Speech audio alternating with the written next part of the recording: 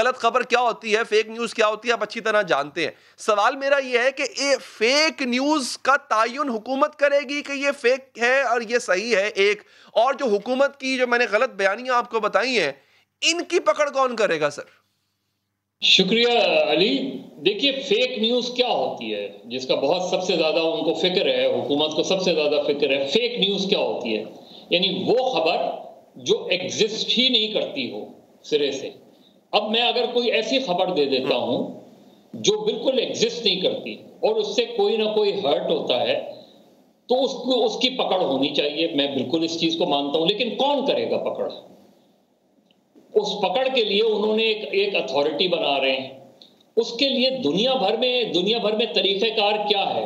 बरतानिया में जिसकी सबसे ज़्यादा मिसालें वज़ीर आज़म देते हैं और वो खुद एक मुकदमा जीते थे ईएन बोथम के खिलाफ।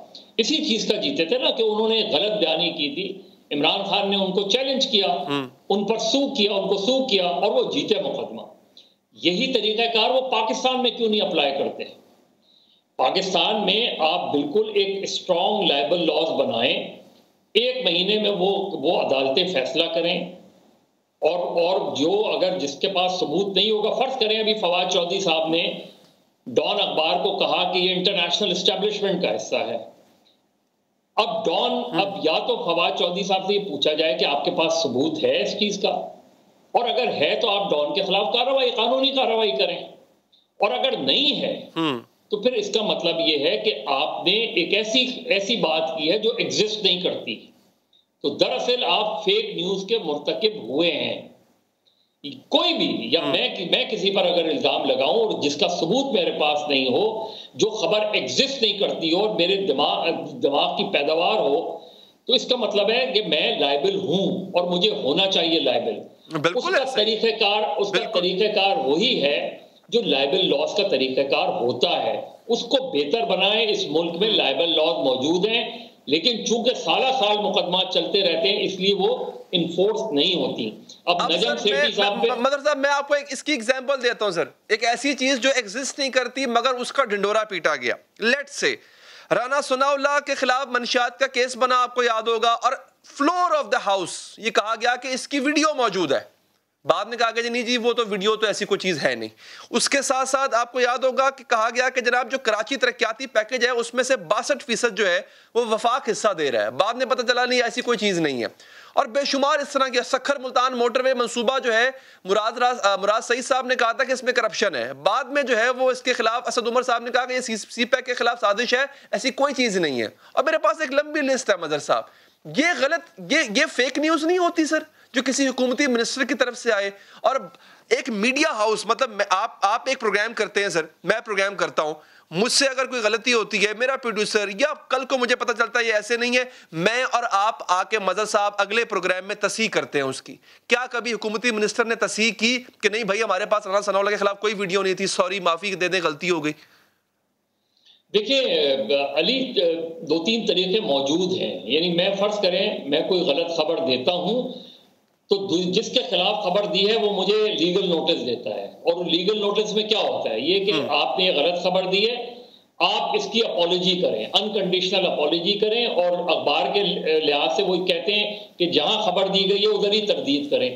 बहुत से अखबार ये करते हैं और बहुत से अखबार ये कहते हैं कि नहीं ये स्टोरी हमारा रिपोर्टर स्टोरी पे स्टैंड करता है वो स्टोरी दुरुस्त है। उसके बाद क्या तरीका होता है? उसके बाद उसके पास जिस जिसने लीगल नोटिस भेजा होता है उसके पास चॉइस होती है। या तो वो उस, उस रिपोर्टर को उस अखबार को अदालत में ले जाए और या या वो विड्रॉ कर ले। यही तरीक़ेकार मौजूद है दुनिया भर में। या करना क्या चाह रहे हैं? करना ये चाह रहे हैं कि ये इस इस अखबारी सनत या मीडिया की सनत के सात कवानीन को ख़त्म करके ये कंट्रोल अथॉरिटी बनाना चाहते हैं।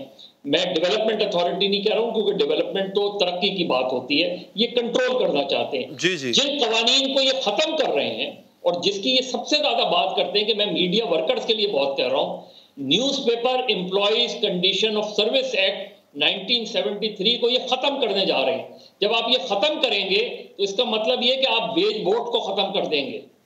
Wage board newspaper employees act के तहत बनता है।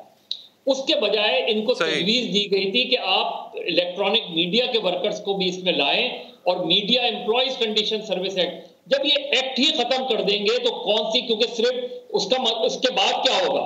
उसके बाद सैलरी का इख्तियार प्योरली मालिक के ऊपर होगा। अभी क्या होता है अखबार में सैलरी वेज बोर्ड फिक्स करता है।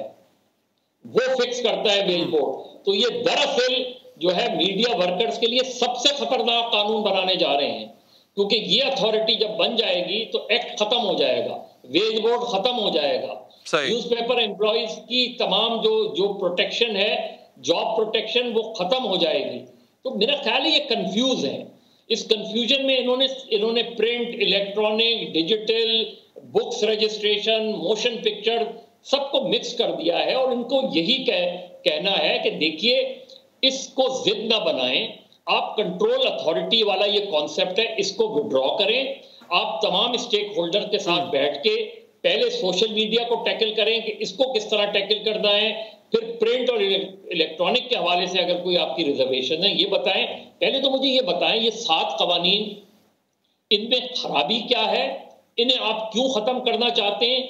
और अगर सात कवानीन की सात ऑर्गेनाइजेशन उनको बेहतर नहीं बना सकी तो एक ऑर्गेनाइजेशन उनको कैसे बेहतर बनाए?